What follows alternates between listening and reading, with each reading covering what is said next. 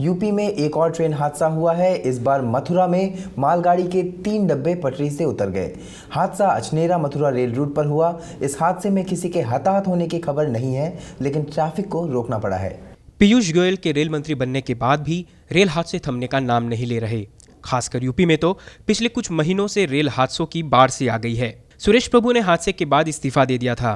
पीयूष गोयल के मंत्री बनने के बाद भी रेल हादसे बंद नहीं हुए हैं। ताज़ा मामला यूपी के मथुरा का है, जहाँ बुधवार को अचनेरा मथुरा रेल रूट पर मालगाड़ी के तीन डिब्बे पटरी से उतर गए। मालगाड़ी के डिब्बे पटरी से उतरने के कारण मथुरा की ओर जाने वाली और दिल्ली से आगरा रूट प्रभावित हुआ है।